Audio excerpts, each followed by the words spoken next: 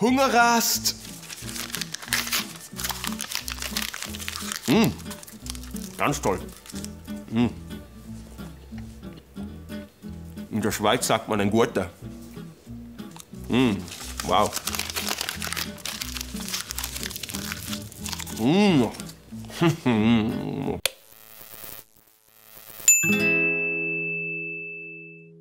weißt du, was ein Hungerrast ist?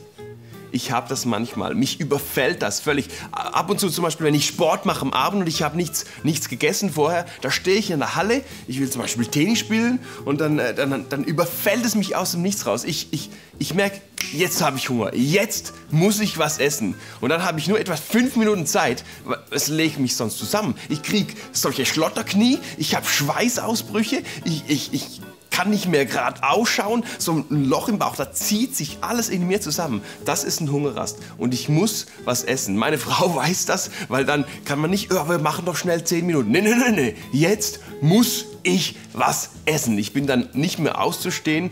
Das ist Hungerrast. Und ich wünschte mir, wir hätten das manchmal auch so bei geistlichen oder spirituellen Sachen. Weil es geht uns ja genauso, nur merken wir es manchmal nicht. Wir sind total leer, es zieht sich alles bei uns so geistlich zusammen, aber wir, wir vergessen, dass wir was essen müssen.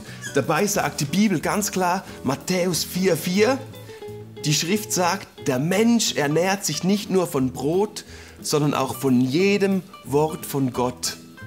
Wenn du also vielleicht mal irgendwie so ganz schwach spürst, dass sich bei dir geistlich was zusammenzieht, weil du wieder, weil du wieder was bräuchtest, dann iss die Bibel.